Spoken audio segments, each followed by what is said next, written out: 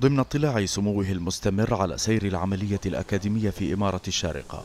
شهد سمو الشيخ سلطان بن أحمد بن سلطان القاسمي نائب حاكم الشارقة ورئيس جامعة الشارقة بمكتب سموه في الجامعة توقيع اتفاقية كرسي أستاذية باسم الهيئة العامة للطيران المدني.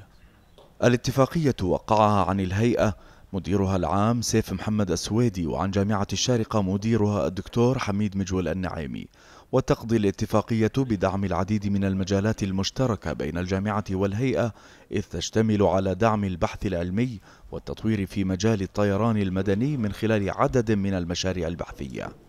كما تهدف الاتفاقية أيضا إلى استقدام خبراء عالميين من خارج الدولة لإجراء ودعم الدراسات والأبحاث بالإضافة لتقديم الاستشارات الفنية أو القانونية سواء من خلال الطلبة أو من خلال الهيئة التدريسية بالإضافة لتوفير منح بحثية لطلبة الماجستير والدكتوراه.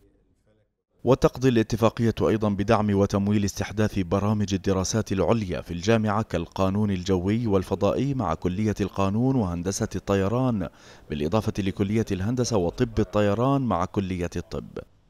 اللقاء تناول أيضا بحث العديد من الموضوعات المشتركة المعنية بالجانب العلمي والبحثي ما يعزز من العلاقات بين جامعة الشارقة والهيئة العامة للطيران المدني.